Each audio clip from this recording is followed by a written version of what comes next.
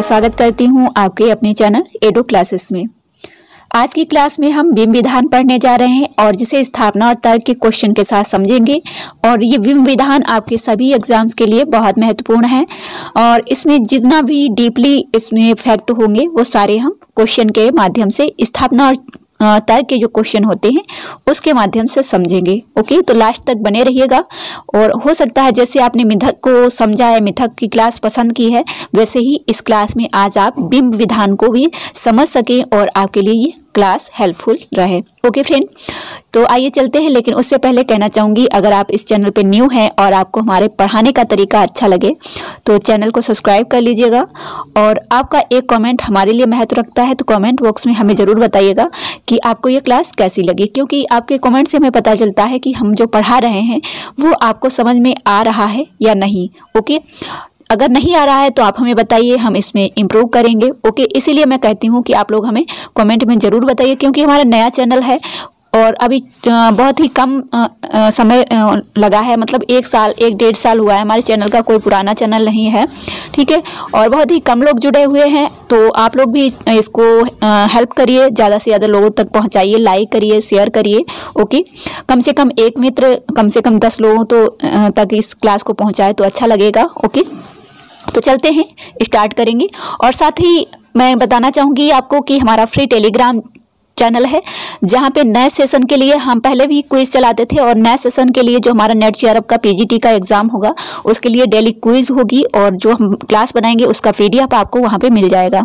Okay तो join कर लीजिए, बिल्कुल फ्री है, कोई फ़ीस नहीं है। या तो आपको लिंक कॉमेंट बॉक्स में मिल जाएगी, या फिर आप टेलीग्राम पर जाइए और वहाँ पर सर्च करिए एडो क्लासेस ओके साथ ही जो हमारा व्हाट्सएप कंप्लीट कोर्स चल रहा है, उसको अगर आप लेना चाहते हैं नेट जी आर पी के लिए तो ले सकते हैं, जिसके लिए आपको व्हाट्सएप करना पड़ेगा इस नंबर पे। अगर आपके पास कोई भी मटेरियल नहीं है तो आप ले सकते हैं, आपके लिए बहुत ही हेल्पफुल रहेगा।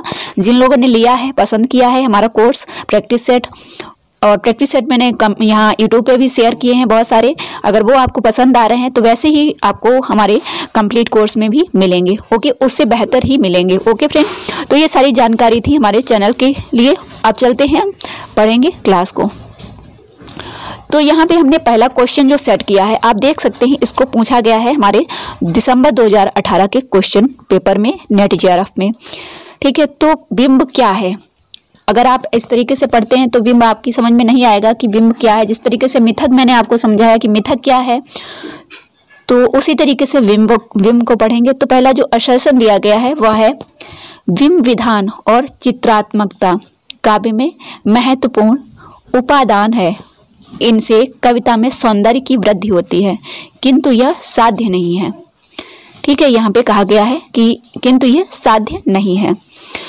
तर्क क्या कहा गया है कि क्योंकि कला की शक्ति का मूल स्रोत मिट्टी और जीवन है। कोरा, कोरे बिंबों का खेल, कोरी आतिशबाजी का काम है। ये क्वेश्चन पूछा गया है। तो क्या यह सही है? अगर यह सही है तो यही फैक्ट हमें ध्यान रखना है।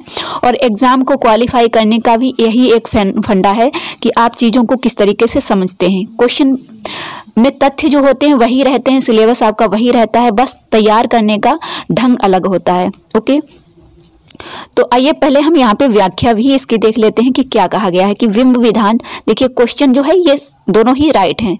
दोनों ही फैक्ट जो है, इसके सही हैं असर्सन भी और रीजन भी। ठीक है? तो अब हमें क्या है समझना है सिर्फ़? अगर एक बार इस क्वेश्चन में हम समझ लेंगे तो सारे क्वेश्चन हमसे राइट होंगे। कि बिंब विधान जो है, चित्रात्मकता काव्य में महत्वपूर्ण उपादान है।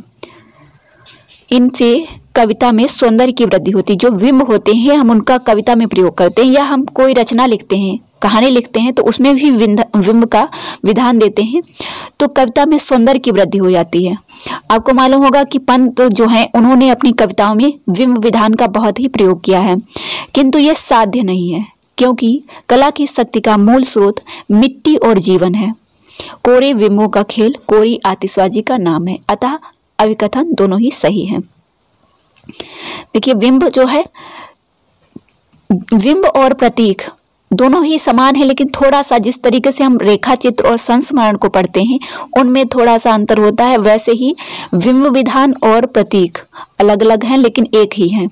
ठीक है, दोनों का प्रयोग किसके लिए किया जाता है? हम प्रतीक क्यों लगाते हैं? प्रतीक से सौंदर्य बढ़ता है कविता का, वैसे ही विम्ब से भी कविता का सौंदर्य बढ़ता है। ठीक है? तो दोनों में ही विम विधान में थोड़ा रहस्य आ जाता है, उसी तरीके से प्रतीक में भी रहस्य आता है कि प्रतीक दिया गया है उसका अर्थ क्या होगा? ठीक है? तो दोनों में ही रहस्यात्मक हो रहस्य देखा जाता है, और छायावाद, आपको मालूम है कि छायावाद में रहस्य का वर्णन किया गया है तो विम विधान जो है छायावाद का एक एक विशेषता मानी जा सकती है ओके आइए नेक्स्ट क्वेश्चन से हम और भी इसको डीपली समझते हैं। दूसरे क्वेश्चन में कहा गया है कि ये 2017 में पूछा गया है कि विम्ब अति, अतीन्द्रिय होते हैं, क्योंकि उनमें ऐन्द्रिकता का होना अनिवार्य है। तो यहाँ पे क्या है कि अतीन्द्रिय होते हैं, जबकि यह गलत है। बिंब जो है इंद्रिय होते हैं, अतीन्द्रिय नहीं होते इंद्रिय होते हैं ओके यहाँ पे क्या कहा गया है कि अब इसका आंसर क्या होगा? बी होगा कि ए गलत होगा और आर सही होगा। ठीक है, क्योंकि उनमें ऐन्द्रिकता का होना अनिवार्य है। ये चीज़ सही है। देखिए, इसकी व्याख्या क्या है कि बिंब अतीन्द्रिय होते हैं, बल्कि बिंब ऐन्द्रिय होते हैं। ठीक है बिंब अतीन्द्रिय होते हैं और बल्कि बिंब ऐन्द्रिय होते हैं। यहाँ पे थोड़ा मिस्टेक है कि बिंब अतेंद्रिय होते हैं, बिंब अतेंद्रिय नहीं होते हैं, बिंब इंद्रिय होते हैं। बिंब संवेदन से जुड़े होते हैं, उनकी सबसे बड़ी विशेषता इंद्रियता होती है। यही वजह है कि सुंदरता से अधिक सजीवता बिंब का प्रधान गुण है। सुंदरता से भी जैसे किसी का बिंब आपने दिया है तो उसमें सजीवता आ जाती है। जैसे आप कोई रचना लिख रहे हैं, किसी का उसमें वर्णन किया है आपने बिंब के माध्यम से तो उसमें सजीवता आ जाती है, सौंदर्य तो होता ही है साथ में। आपको समझने में भी थोड़ा आसानी होती है। अलंकार में सजीवता हो सकती है, लेकिन उनसे, उनके प्रयोग का प्रधान उद्देश्य कविता में सौंदर्य लाना होता है। ठीक उसी प्रकार बिंब में सौंदर्य हो सकता है, लेकिन उसका काम कविता को सजीव बनाना है। सौंदर्य भी है, जिस तरीके से अलंकार कविता को सौंदर्य देते हैं, उसी तरीके से बिंब जो है उसको सजीवता देते हैं। नेक्स्ट देखिए, नेक्स्ट जो क्वेश्चन है, स्थापना है, आद्य बिंब आदि मनुष्य की ऐन्द्रिक कल्पना है। ऐन्द्रिक यहाँ पे दिया गया है तो ऐन्द्रिक कल्पना है। इसीलिए आगे चलकर कथात्मक तत्वों के सम्मिलन से यही आद्य बिंब मिथक के रूप में विकसित हुआ है। तो देखिए, बिंब जो है, इनको मिथक भी माना जा सकता है, क्योंकि यहाँ पे दिया गया है कि मिथक के रूप में विकसित हुए। जो बिंब है उन्हीं के माध्यम से मिथक तैयार हुआ है। ठीक है? बिंब का ही विकास मिथक कहा जा सकता है कि ये कल्पना, जिसको हम कहते हैं, बिंब के माध्यम से रखते हैं। ठीक है? जैसे कामायनी में आपने, कामायनी में मिथक का प्रयोग किया गया है। ठीक है? तो ये चीज़ें हैं। यहाँ पे इसका हम जो है व्याख्या देखेंगे कि साहित्य में आदि बिंब, आदि मनुष्य की ऐन्द्रिक कल्पना है। इसीलिए आगे चलकर कथात्मक तत्वों के सम्मिलन से यही आद्य विम्ब मिथक के रूप में विकसित हुए। क्योंकि मिथक एक आस्था या विश्वास है, जो पौराणिक कथाओं के माध्यम से युग युग से समाज में अपना अस्तित्व बनाए रखी है। मिथक संस्कृत इतिहास का आख्यान होता है। तो यहाँ पे आप मिथक को भी पढ़ सकते हैं और जो है विम्ब को भी पढ़ सकते हैं कि मिथक, विम्ब और प्रतीक ये एक कल्पना के तौर पे रखे जाते हैं कि एक कल्पना, जैसे आप जो है कविता लिखते हैं कि टिमटिमाते तारे तारों को आप किसी बच्चे का रूप दे सकते हैं या आप चाँद को किसी व्यक्ति का नाम दे सकते हैं, किसी व्यक्ति को चाँद का नाम दे सकते हैं, ठीक है, किसी बच्चे को तारे का नाम दे सकते हैं। तो इस तरीके से, जिस तरीके से मिथक और बिंब और प्रतीक, ये ये मिली जुली चीज़ें हैं, ठीक है, एक कल्पना के तौर पर इनको रखा जा सकता है। नेक्स्ट देखिए क्वेश्चन जो है आपका, ये क्वेश्चन भी आपका पूछा गया है एग्ज़ाम में ही। विम्ब का मुख्य ध्येय होता है वर्ण विषय का ऐन्द्रिय प्रतिबिंबन सभी एक ही टॉपिक पे हैं, लेकिन सभी का जो क्वेश्चन सेट करने का तरीका है अलग अलग है कि अगर आप समझ सकते हैं, एक बार चीज़ समझ जाएँगे तो आप कोई भी किसी तरीके से रखा जाएगा, आप आसानी से लगा लेंगे। तो इसका रीजन क्या है कि बिंब विधायक, रचनाकार, ज्ञानेन्द्रियों के माध्यम से अपने भावों का सम्मोर्तन करके उनका संप्रेषण करता है और अपने बिंब से पाठक को जोड़ता है। तो यहाँ पे देखिए, दोनों ही सही होंगे, क्योंकि जो रचनाकार है, वह बिंबों के द्वारा ही जो है पाठक को आकर्षित करता है। जो बिंब होते हैं, उनके माध्यम से ही जैसे आप कविता कोई पढ़ते हैं, कोई ऐसी कोई कविता लिख दी, आप नहीं पढ़ेंगे। उसमें बिंब का विधान होता है, तभी वो आपको आकर्षित करती है, तभी उसमें आपका जो है, आप मुग्ध होते हैं, आप तभी उसको मुक्त भाव से पढ़ते हैं। उसी को रस कहते हैं, उसी को सौंदर्य कहते हैं, ठीक है? तो बिंब का मुख्य ध्येय होता है, वर्ण विषय का इंद्रिय प्रतिबिंबन। और प्रतिबिंबन क्यों किया जाता है? सौंदर्य के लिए, सजीवता के लिए। बिंब विधायक रचनाकार ज्ञानेंद्रियों के माध्यम से अपने भावों का सम्मोर्तन करके उनका संप्रेषण करते हैं। वो आपके सामने जो चीज़ें प्रस्तुत करते हैं, अपनी मूर्त और अमूर्त भावों से, वो चीज़ें आपको तभी समझ में आएँगी जब उनमें बिंब दिया गया होगा, उनको सही ढंग से प्रस्तुत किया गया होगा। तो उनके जो बिंब से ही पाठक को जोड़ा जाता है। ओके?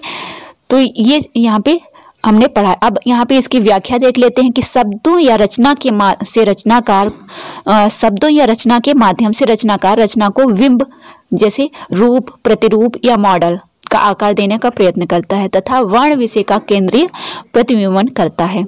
जो उसका उद्देश्य होता है, जो उसका केंद्र होता है, उसको हम विम्ब के द्वारा समझते हैं। क्योंकि कविता लिखी गई है वह किसी पर आधारित करके लिखी गई है, लेकिन उसको डायरेक्ट उसी का नाम नहीं दिया जाएगा, है ना? तो उसमें क्या होता है? कुछ प्रतीक कुछ विम्ब का प्रयोग किया जाता है। नेक्स्ट देखिए, आपका जो क्वेश्चन पूछा गया है कि विम्ब में अर्थ की संभाव्यता निहित होती है। विम्ब में अर्थ की संभाव्यता निहित होती है। ये आपका सही है क्योंकि विम्ब जो है किसी का अर्थ ही देता है, किसी अगर किसी को प्रतीक किसी का दिया गया है। ठीक है, जैसे महादेवी वर्मा ने अपने प्रतीकों में किसे जोड़ा है? बादल को जोड़ा है, दीपक को जोड़ा है। तो उन्होंने प्रतीक दिया है। उसी तरीके से उसमें अर्थ है कि ये जो बादल है, जो दीपक है, वो क्या है? उन्होंने अपने कविताओं में व्यक्त किया है, उसमें बिंब दिया है, दीपक और बादल का। तो यहाँ पे ये चीज़ क्लियर हुई। नेक्स्ट क्या है? क्योंकि अर्थ हमेशा निश्चित होता है। अर्थ हमेशा निश्चित नहीं होता है, क्योंकि एक चीज़ है, अब उन्होंने किस चीज़ को क्या अर्थ दिया है? इसका जो है आप कई, क्योंकि किसी भी शब्द के कई अर्थ हो सकते हैं, क्योंकि अर्थ हमेशा निश्चित होता है, ऐसा नहीं है। एक शब्द का अर्थ होता है, लेकिन अर्थ हमेशा एक ही नहीं होता है। ये चीज़ गलत है यहाँ पे, ठीक है?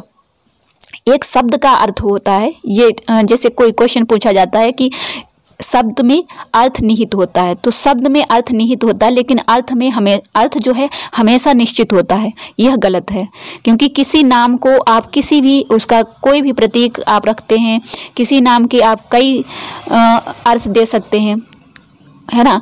तो ये चीज़ें हैं जो यहाँ पे समझने वाली हैं कि बिंब में अर्थ की संभाव्यता निहित होती है। बिंब जो है, उसमें तो अर्थ होगा, लेकिन अर्थ हमेशा निश्चित हो, ये गलत है। तो यहाँ पे ये चीज़ें आपने देखी हैं। अब यहाँ पे देख देख सकते हैं कि बिंब जिसे प्रतीक भी कहते हैं, ठीक है? बिंब जो है, उसी को प्रतीक कहते हैं। या रूप, या अरूप, दूसरा जैसे बिंब का अर्थ होता है दूसरा रूप, या मॉडल जैसे हम कहते हैं। अभी हमने पढ़ा है। तो अर्थ की संभावना निहित होती है, परंतु अर्थ हमेशा निश्चित नहीं होता है। आपका क्लियर हो गया? कि जो विम्ब दिए जाते हैं, वो दूसरा नाम दिया जाता है, दूसरा अर्थ दिया जाता है। अब उस विम्ब के आधार पे हम उसके कई अर्थ निकाल सकते हैं। ओके? तो ये चीज़ थी जो आज इस क्लास में हमने समझी कि विम्ब क्या है। आई होप आपको ये क्लास बिल्कुल क्लियर हो गई होगी कि विम्ब और प्रतीक क्या है, मिथक क्या है। मैंने बीच बीच में आपको ये भी बताया, अगर आपने वह क्लास नहीं देखी है तो आप देख लीजिएगा। ओके?